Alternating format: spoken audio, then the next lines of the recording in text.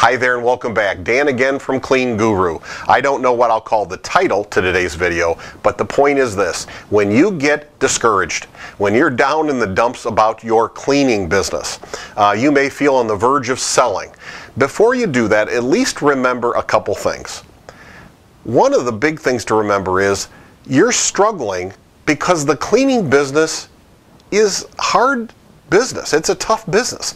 You know, this is not a, uh, a business that's manufacturing or we're making widgets one after another all the same. This is not a, a delivery business or uh, a service where we're shipping something in a box. The actual crafting of cleaning and, and changing of a building from dirty to clean through people, actually managing that and training that and supervise, it's, it's tough. It is tough. Now here's the good news. It's not only tough for you, it's tough for everybody else. So just when you're getting discouraged and you think, I'm going to give up, remember this. The cleaning business always does have, though, tons of opportunities, right?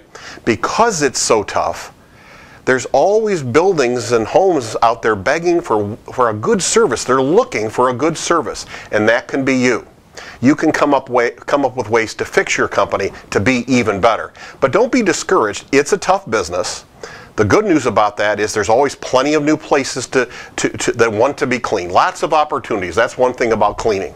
And by the way, as far as mistakes, Tony and I, if you've heard all of our videos, we made nearly all of them over and over again, some of them. And in spite of all that, we succeeded over time. There were times, there were so devastating of mistakes we made that I felt like, I don't know if it was true, we'd have to look at it, I felt like it nearly cut out all the profit we were making because of the big mistake we made.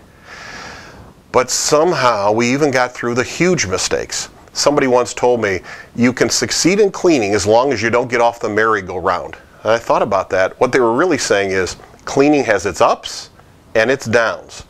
But as long as you stay on the merry-go-round, keep learning the business, because of all the opportunities in cleaning, there's always tomorrow. There's always another building, another home to be cleaned where you can do it better and grow the company again, even though you may have uh, failed miserably before. So try not to get discouraged. It is a tough business. It is a service business, but there's lots of opportunity and failure is just the way we learn how to do it better. Until next time, remember that you can do this. You really can.